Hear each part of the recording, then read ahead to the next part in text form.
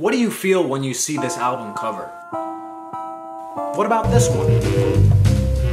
What about this one? Uh, from what I can tell, there is a goat giving birth to a man wearing a chain, and the doctor is also a goat. Can you tell the difference between these three covers?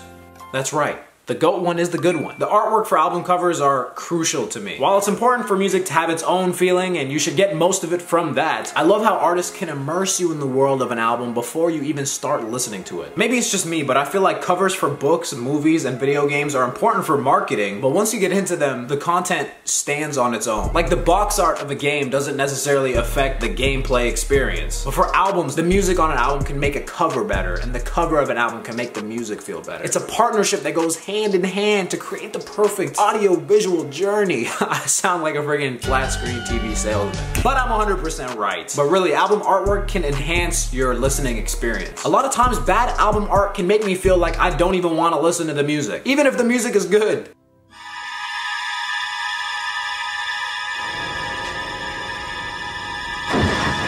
While there's some covers where you gotta just drop everything and listen to it. Like, look at this. Music is also the only visual marketing medium for art that still has the guts to go crazy with it. While both movies and video games have gone from beautiful, hand-drawn, expressive covers and posters to just boring shadowy guy holding gun, or a bunch of orange and blue actors of varying sizes. Artists in the music world still kind of have the freedom to express their music in an interesting visual way. Rihanna can be one of the biggest pop stars in the world, and her album cover can be her as a freaking blurry little girl with a crown over her eyes, covered in braille poetry. Like I said in the album sequencing video, I love the idea of just thinking about the things that go on outside of the actual music making process, like once you finish an album, after you put years of your life into a body of work that could be over an hour long, how can you decide on one picture that encapsulates the feeling of that entire thing? That's like if you got this tattoo. That's, that's your tattoo. That's you. That's you now, forever.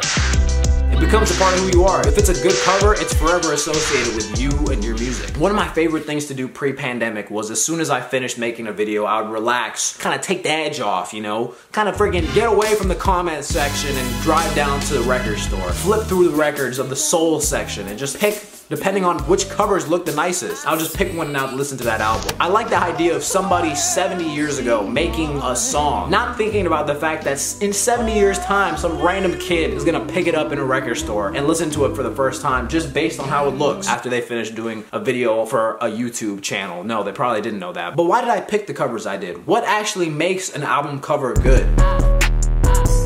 The best album covers feel like a doorway into that world. And once you've listened to the album, it makes you want to go back into that world. There's album covers that are so iconic, they've transcended the music or even the genre itself. You've probably seen some of these covers even if you've never listened to the music. And then there's covers you wish you'd never seen. Sometimes you can just look at an album's artwork and you can tell how the music is gonna feel. When you look at the Watch the Throne cover, you know you're about to listen to something extravagant. No matter how this album actually sounded, it would feel like eating pizza with a gold fork and knife. How do you eat it? With your hands? Vaughn, this man is on the cover crying in the shower where you don't know if the water is from the tears of your eyes or the, the friggin' shower head. This is actually clever foreshadowing to when you end up doing the exact same thing. Damn, when you look at this cover, you know this man's about to be struggling this whole album. Look at his eyes. There's beats that literally sound like how he looks, bent over and just stumbling. Titanic Rising. I listened to this album because of the cover. I was like, dude, this better make me feel like I'm in Bikini Bottom. And it did not disappoint. Now, if we look at this album by Niall Horan, Horan? Horan? Horan. I don't know how I'm supposed to feel. It doesn't even look like he knows what to feel. Why is he just standing on his chair like this? Just, just sit. Sit down. How is there so much happening and there's nothing happening with him? Everything is going on and nothing is going on at the same time.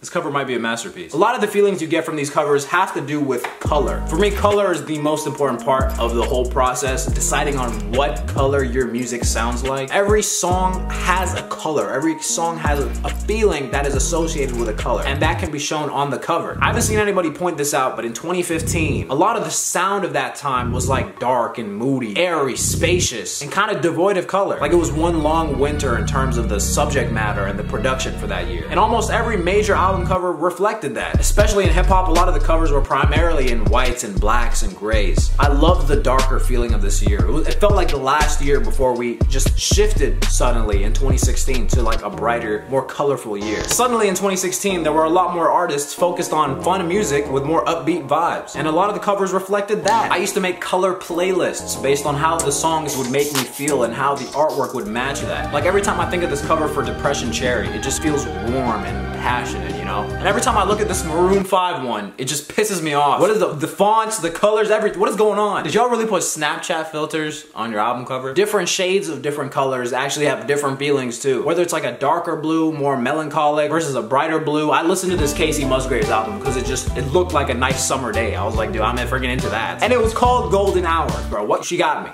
What more could I want? I don't even listen to country like that, and she got me off the album cover. Different greens feel different ways. Like this one just feels more lush, you know, like a little bit brighter. This darker green makes you feel like you're walking through a friggin' swamp when you listen to it. James Blake has this murky, greenish, brownish gray cover with these dark clouds, distorted trees, and the first song is just him repeating, I can't believe you don't want to see me, over and over. You're like, oh, so this one is, uh, this is a sad song. Tyler, the Creator's Igor with a soft pink behind the dark, jagged, and rough edges of Tyler cut out and pasted on the freaking thing. Gives a great idea of how the album sounds, bringing two of Tyler's best sounds together. Depending on how it's done, I love when covers don't 100% fit how the music feels either. Like you look at this album cover from Paramore and it's a friggin' looks like a nice day on the beach. The first song starts, it's all happy with Sebastian from Little Mermaid hitting the steel drums, and then Hayley Williams starts singing.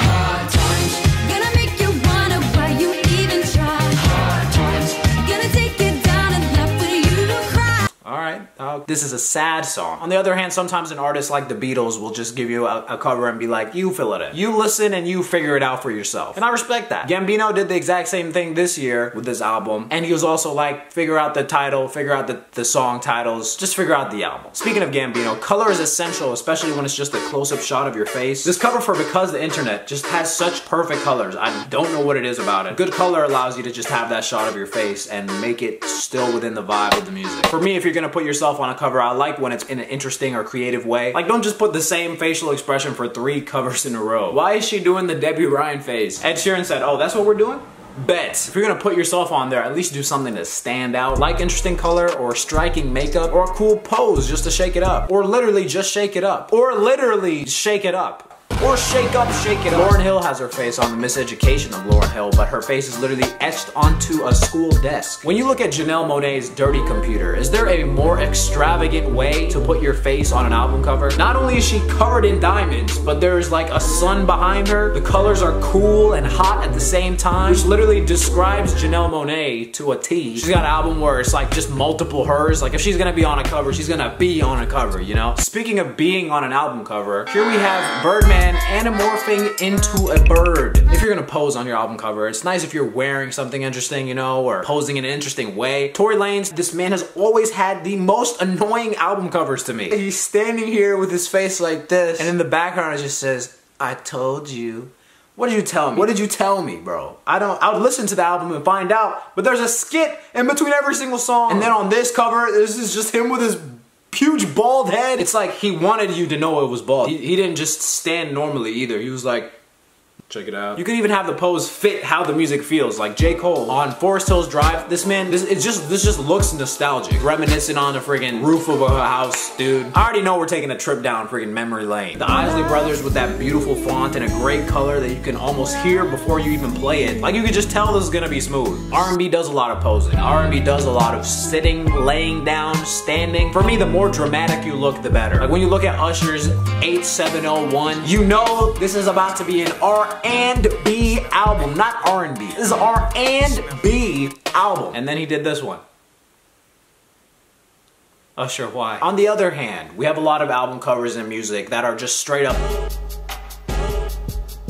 these are the kind of albums you could hang up on your freaking wall and not even know there was like music for these things. Like they could go up in a museum. The cold, distant, and jagged mountains of Radiohead's Kid A. The timelessness of the black and white cover on To Pimp a Butterfly, letting us know that the issues Kendrick talks about aren't going away anytime soon. The black men celebrating in front of the White House while the judge lies lifeless on the ground, no longer able to take away their life's most important currency, time.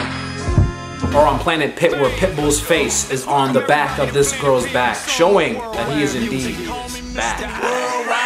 On the other end of the spectrum, there's minimalist covers, which I also love. But these can be difficult for marketing depending on who you are. If you're big enough, just the artist's name can sell the album. Just Beyonce, boom. Sometimes you don't even need the name. Jay-Z's 444, I said it like it was a freaking Wendy's order. But Jay-Z's 444, it just says this is his 13th studio album. Whose?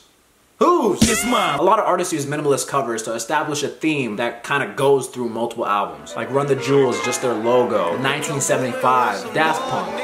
Nicki Minaj's Pinkprint is just literally just her fingerprint, just just a stamp of our identity. The color is great, dude. A minimalist cover with good color. At the end of the day though, the music is essential to knowing how you feel about an album cover. Some covers just look bad, and then paired with the combination of the music and time, they just fit perfectly with the album. Life of Pablo is an example of a cover growing on me. I was so against this cover at first. I was like, how did the man who gave us friggin' graduation cover and My Beautiful Dark Twisted Fantasy cover give us this Microsoft Paint cover? Bro, I hated it so much. I was like going in and changing it to a bunch of random different fan covers. But this cover became so iconic. That style was used everywhere. Every friggin' H&M Forever 21 had their own version of that kind of text. Now listening to it, this artwork is a perfect visual for Kanye's mental state on this album. This man was all over the place. Couldn't figure out if he could choose his family or the entertainment industry. And the color just looks like ultralight beam. Views, same thing. I feel like this cover encapsulates the feeling of listening to a Drake album more than any other Drake album. This joint dropped in late April, so I didn't get a chance to really feel the cover until it became winter again. But as soon as that winter time hit, I could appreciate the cold feeling of the album. Then I felt like I was really driving around a snowy, dark place. But yeah, I wanted to make a video talking about album covers. You guys seem to like the last video I did about music, and since I love music so much, I was like, I should be making more videos about this, you know? Of course, I couldn't talk about every single piece of album artwork out there. So what are some album covers that have impacted you? What are some covers that make you feel all tingly inside? Let me know in the comments down below. Let's be honest, whatever you guys name is not gonna top Planet Pit. Mr. Worldwide.